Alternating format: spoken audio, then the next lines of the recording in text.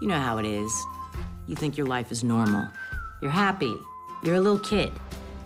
It's not like we wanted to leave Brooklyn, but all of a sudden, we were. I was gonna be a famous writer like Anne Frank, so it didn't matter where I lived.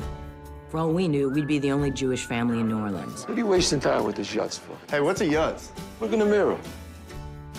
Dad told me he needed to be closer to his factory. Have my eyes deceived me, or have I just walked into a beauty pageant? Dad liked to promise us the world. I'm building an empire here.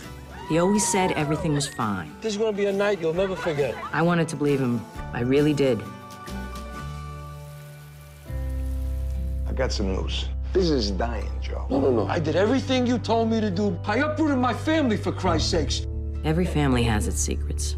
Now just look at my eyes. Dad. Look me in the eyes. Ready? One, two, three. You will never disrespect my daughter, right? Dad! For us, it was my father's rage. Do you know what's going on here? Who are these guys? Is it a mob wrong? I'm out of options. We've both seen what those people could do. Taking your girl. I'm doing it for my girls. Dad! I want to help you, but I'm scared of you.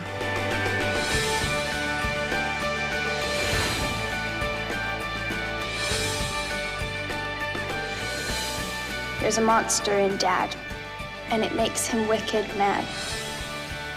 Is there a cure in Dad's devotion, or in a child's whispered pleas?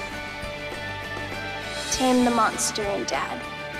Take his fits, all that's bad, and save one mighty fine family.